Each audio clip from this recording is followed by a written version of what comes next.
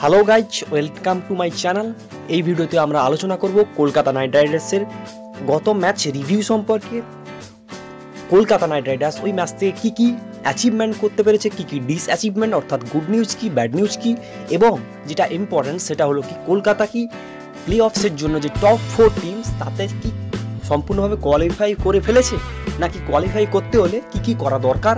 পরবর্তী ম্যাচগুলিতে সেই সম্পর্কে আলোচনা করা হবে এবং কলকাতা নাইট রাইডার্সদের প্লেয়ার্সদের ডিটেলস সম্পর্কে আলোচনা করব। তো ভিডিওটি শুরু করার আগে প্লিজ এই ভিডিওটাকে প্লিজ শেষ পর্যন্ত দেখতে থাকুন এবং যারা আমার চ্যানেলটাকে সাবস্ক্রাইব করেননি প্লিজ সাবস্ক্রাইব করে নিন। এই সংক্রান্ত অনেক গুরুত্বপূর্ণ খবর। তো চলুন শুরু করা যাক।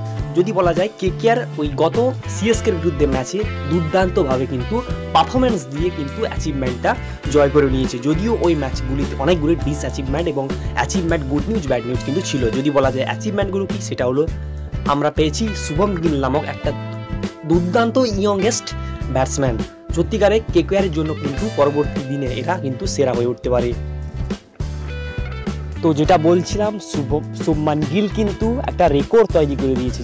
এর আগে জানেন, তিনি হলেন চতুর্থ নম্বর এমন ব্যাটসম্যান যিনি আইপিএলের ইতিহাসে সব থেকে যুবক যিনি সেঞ্চুরি লাগিয়েছেন। এর আগে পৃথ্বী শো ঋষভ পান্ত এরা কিন্তু লাগিয়েছিলেন। ঠিক আছে না? আর যদি বলা যায় যে অ্যাচিভমেন্টের কথা, তাহলে দীনেশ কার্তিকের সেই ক্যাপ্টেন্সি ভরা ওই ফিনিশিং লুক বা বা ফিনিশিং যে ইনিংসটা আমরা যেটা গত ভিডিওগুলিতে বলে এসেছিলাম যে আপনি একজন ইন্ডিয়ার হয়ে যখন ফিনিশের রোল ভূমিকা প্লে করেন, তখন আপনাকে অবশ্যই এখানে প্লে করা উচিত, যেটা করেছিলেন। আর যেটা অ্যাচিভমেন্ট হলো সেটা বা গুড নিউজ হলো যেটা কি, যা কে কেকেআরের যে স্পিনাররা দুর্দান্তভাবে কিন্তু ওই ইনিংসে বল করেছেন।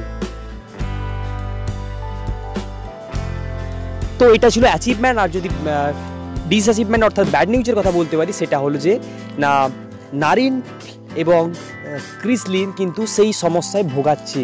অর্থাৎ ব্যাটিং সমস্যা, অর্থাৎ নারিন যথেষ্ট মাত্রায় খেললেও কিন্তু প্রত্যেকবারই যদি গত দুটো ম্যাচ লক্ষ্য করো লক্ষ্য করেন আপনারা, আরসিবি এবং সিএসকের বিরুদ্ধে কিন্তু ওই একইভাবে শর্ট বলের বিরুদ্ধে কিন্তু বারবার ধরে তিনি ক্যাচ দিয়ে ফেলছেন। যদিও প্রত্যেকবার কিন্তু ভাগ্যটা তার সাথে দিয়েছিল, যদি বলা যায়। তবে এই সমস্ত দিকগুলি চেঞ্জ করা উচিত নারিনকে। অর্থাৎ শর্ট বলের প্রতি বা যদি উনি দেখতে পান, তো প্রত্যেকটা একটা ওভারে তিনটা বল বাউন্ডারি মারার পর কিন্তু চতুর্থ নম্বর বলটাও কেউ তিনি হিট করতে চান। তো এই জায়গায় তিনি ফেসে যান এবং উইকেটটা চলে যায়। তো এই দিকটা ভাবা উচিত এবং ক্রিসলিনকে যদি বলতে পারা যায় ওই ম্যাচে ক্রিসলিন কিন্তু ওই পেস বলের যেখানে রানটা প্রচুর হওয়া উচিত, যেখানে পিচটা ছিল পাটা, অর্থাৎ ব্যাটিংয়ের জন্য খুবই অনুকূল। সেখানে কিন্তু ক্রিসলিন কিন্তু পেস বোলিংয়ের বিরুদ্ধে, অর্থাৎ আপনারা যে যেরকমটা জানেন পেস বলের বিরুদ্ধে তিনি স্লিপে ক্যাচ দিয়ে ফেলেন। তো এটা ছিল ব্যাট নিউজের ভেতরে। আর যেটা সব থেকে বড় কথা সেটা হলো, ওই ম্যাচে কেন মিচেল জনসন? আপনি জানেন যে নীতিশ রানা ইঞ্জুরি হওয়ার কারণে ওই ম্যাচটাতে কে কে আরে ব্যাটসম্যানের অভাব ছিল। তো সেখানে ক্যামরন ডেলপটকে খেলানো উচিত, যিনি একজন অত্যন্ত ভালো মানের ব্যাটসম্যান এবং বোলিং করতে পারেন তো রাইডাম তো সেখানে কেন ওখানে আপনি মিচিল জনসনকে খেলাচ্ছেন? তো সেখানে আপনাকে যদি পেস বোলিংয়ের অভাবও হয়, সেখানে আপনি ওই জায়গায় যেখানে আপনি রিঙ্কু সিংকে খেলাচ্ছিলেন, সেখানে আপনি প্রসিদ কৃষ্ণাকে নিয়ে আসুন এবং ওখানে যেখানে মিচিল জনসনের জায়গায় সেখানে ক্যামরন ডেলপট খেলিয়ে আসুন দিয়েলে তো মনে হয় সম্ভবত আপনাদের সমস্যাটা চেঞ্জ হওয়া উচিত। এটা কে কে আর ম্যানেজমেন্টকে ভাবা উচিত ছিল। যদিও কেন ওখানে খেলানো হচ্ছে, আমি বুঝতে পারছি না। আপনারা যদি জানান প্লিজ কমান্ড করে বলবেন। তো তো এই এগুলো ছিল ব্যাট যেগুলো, দিকগুলো কে কে আরে সেগুলোকে আমি যেটা তুলে ধরলাম আপনাদের কাছে। যদি বলা যায়, এবার পয়েন্টস টেবিলের কথায়, অর্থাৎ কে কে আর কি পারবে যে কোয়ালিফাই করার জন্য যে অতি, যে প্রয়োজনীয় যে পয়েন্ট সেগুলো অ্যাচিভ করে কি কে কে আর যে টপ ফোর টিম কি ধরে রাখতে পারবে? তো এই এই নিয়ে ভাববো, ঠিক আছে না? তো যদি বলা যায়, এই মুহূর্তে যে পয়েন্টস টেবিল যেরকমটা আপনারা স্ক্রিনে দেখতে পাচ্ছেন, তো চেন্নাই বা কলকাতা নাইট রাইডার্স এবং দিল্লি কিন্তু নটা করে ম্যাচ খেলে ফেলেছে। যদি বলা যায়, আমার যে পিক থাকবে কোয়ালিফাইয়ের জন্য সেটা হলো, তারা হলো already Sunrisers Hyderabad Kings Eleven Punjab, Chennai Super Kings এবং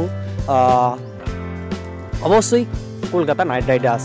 তো যেখানে বলব যে কলকাতা নাইট রাইডার্স কিন্তু হান্ড্রেড পার্সেন্ট কিন্তু কোয়ালিফাই করেনি, যদি বলা যায়। কারণ কি? না, কারণ কলকাতা নাইট রাইডার্স নটা ম্যাচ খেলে ফেলেছে, অর্থাৎ তাদের হাত আসে পাঁচটা ম্যাচ আপনারা জানেন, যদি বলেছি যে আপনাকে কোয়ালিফাই করতে হলে অত্যন্ত আপনাকে আটটা ম্যাচ কিন্তু জিততে হবে।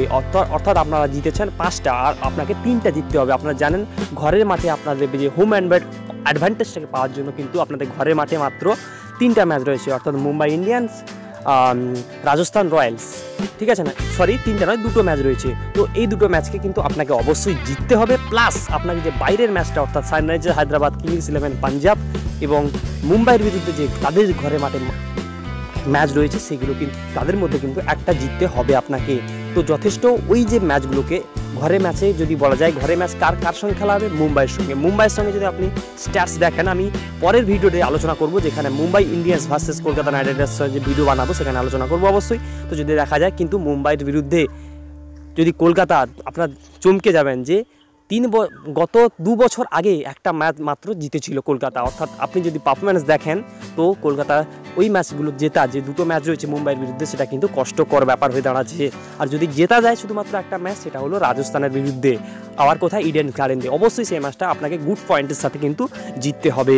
আর যেটা বলা যায়, আপনার কার সঙ্গে ম্যাচ রয়েছে? যদি রয়েছে, যদি বলা যায়, আপনার সঙ্গে রয়েছে আর সানরাইজার্স হায়দ্রাবাদ এবং কিংস ইলেভেন পাঞ্জাব এবং মুম্বাই। তো ওদের ঘরে মাঠে কিন্তু আপনাকে জেতাটা খুবই কষ্টকর হয়ে দাঁড়াবে।